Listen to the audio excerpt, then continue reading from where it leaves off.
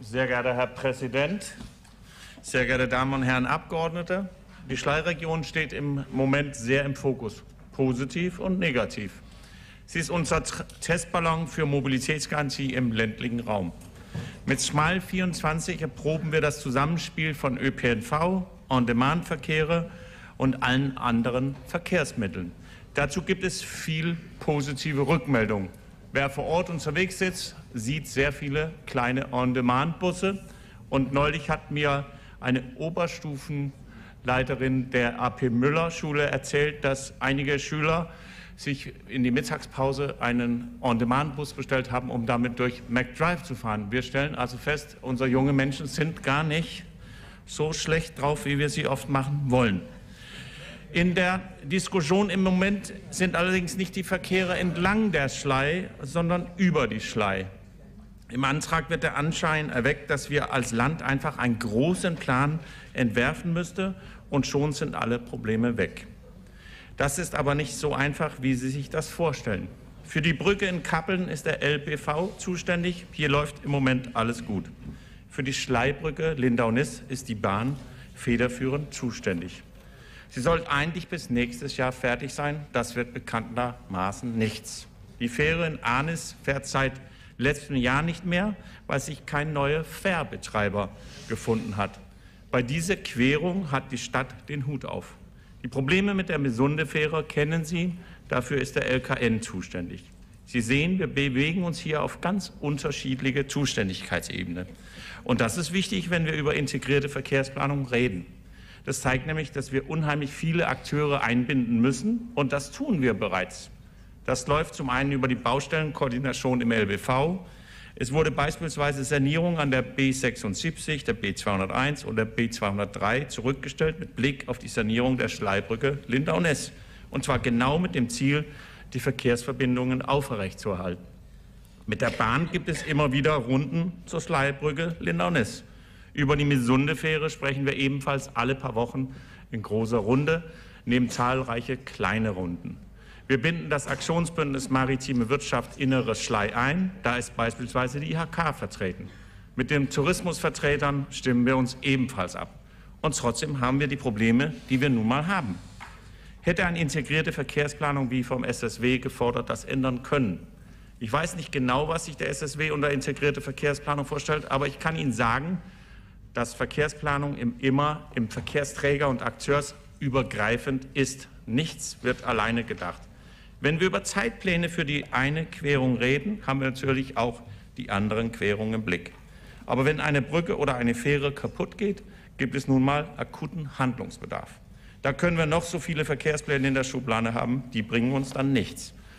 Und genauso war es auch hier an der Schlei. Ich gebe Ihnen recht, die Situation ist alles andere als zufriedenstellend. Aber das werden wir mit der einen groß angelegten Planung auch nicht ändern können. Wir wollen Planungen beschleunigen. Wir wollen auch Sanierungsmaßnahmen so schnell es geht abschließen. Ziel der Landesregierung ist es, alle offenen Baustellen in der Region schnellstmöglich zu beheben. Das treiben wir voran und das ist auch im Sinne aller. Und natürlich gibt es immer wieder Abstimmungen mit sämtlichen Akteuren. Als sich herausgestellt hat, dass die Mesunde 3 zeitnah nicht eingesetzt werden kann, haben wir schnell gehandelt und die Mesunde 2 zurückgebracht. Uns war es wichtig, dass es die Querung für die Menschen vor Ort sichergestellt ist. Jetzt wird, jetzt wird mit Hochdruck an einer Lösung für die Mesunde 3 gearbeitet. Dazu gibt es regelmäßige Abstimmungsrunden mit dem LKN und alle weiteren Beteiligten. Das Ziel ist weiterhin, dass wir im Herbst 2025 ein einsetzbares Schiff haben.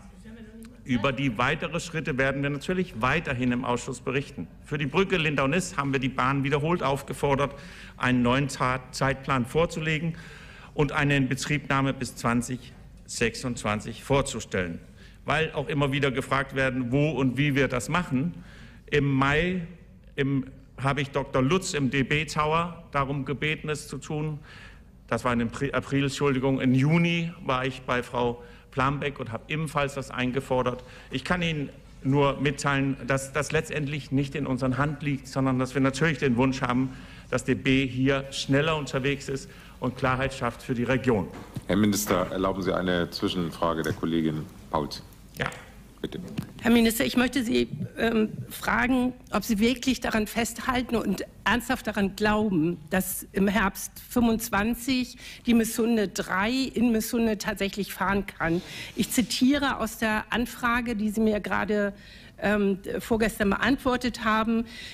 Ich habe gefragt, wann ist die Verlegung der Missunde 3 in welche Werft geplant, um dort den benötigten Umbau anzugehen.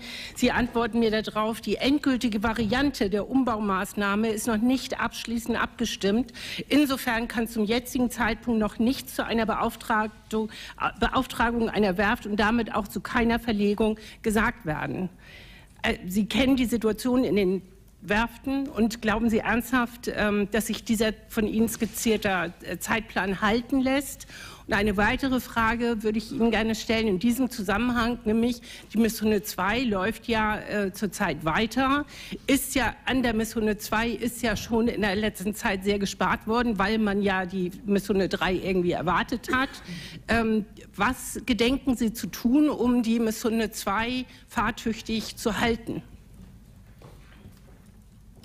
Ja, erstens, ich habe Ihnen gesagt, dass es nach wie vor das Ziel ist, dass wir 2025 im Herbst diese Umtausch stattfinden lassen können. Das hat natürlich damit zu tun, dass nicht hochtouristische Saison ist, also mit möglichst wenig Einfluss vor Ort. Das haben wir immer auch mit den Akteuren so abgesprochen und deswegen ist das die Zielsetzung, weil es dieses Jahr auf jeden Fall nicht gelingen wird. Im Moment werden unterschiedliche Umbaumaßnahmen an Missunde 3 durchdiskutiert und wir wollen dann natürlich auch eine funktionierende Fähre und nicht mehrfach umbauen müssen. Und deshalb ist die Sache in sich sehr kompliziert. Gleichzeitig, wie es vorher aufgesagt wurde, äh, wird natürlich geprüft, inwieweit das äh, wir gegenüber andere Ansprüche machen können. Und das sind alles sehr komplizierte Vorgänge. Deswegen ist es auch etwas kompliziert, Veränderungen an eine Fähre zu machen, bevor klargelegt worden ist, ob jemand anders vielleicht auch Teilschuld letztendlich trägt.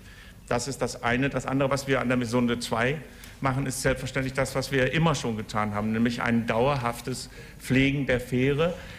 Wahr ist allerdings auch, dass das sehr endlich ist mit der ähm, Genehmigung für diese Fähre und wir, dass wir auch alles tun müssen, so wie mein äh, Herr Dr. Buchholz eben auch geschildert haben, ist es natürlich so, dass man immer damit rechnen muss, dass die Fähre irgendwann keine Genehmigung mehr hat.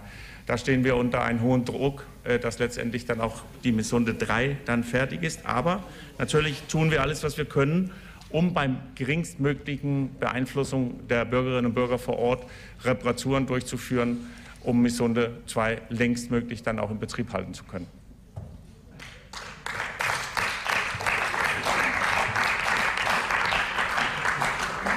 Ich kann Ihnen aber zu guter Letzt auch sagen, dass natürlich immer bei uns die Alarmglocken schrillen, wenn irgendwo eine Verbindung ausfällt. Genauso, dass wir auch regelmäßig weiterhin mit den Akteuren in der Region Kontakt halten werden. Und was uns und mir persönlich natürlich ein großes Anliegen ist, dass die Menschen an der Schlei das Ganze nicht als was Trennendes, sondern was Verbindendes wahrnehmen. Vielen lieben Dank.